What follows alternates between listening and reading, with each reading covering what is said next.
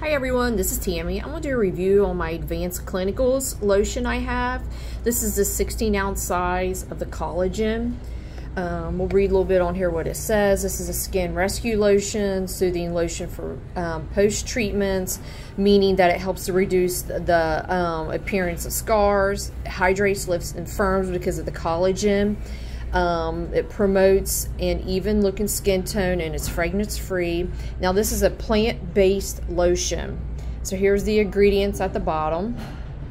It has some really great ingredients in it. I have this here at work. I actually, when I buy this, I buy like a couple of, of um, bottles at a time because I don't want to run out of it and I use it here at work.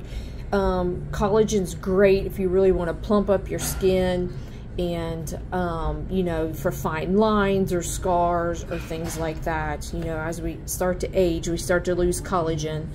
So sometimes it's nice just to you know be able to apply it on and plump up that skin and make it look healthier and um, reduce those fine lines or that crepey skin. So if you're looking for a great lotion this is a good one. Um, I love it too because it has the pump on the top and I can take out a little bit or a lot at a time and it's kind of like you know hands free of putting it on and I really like it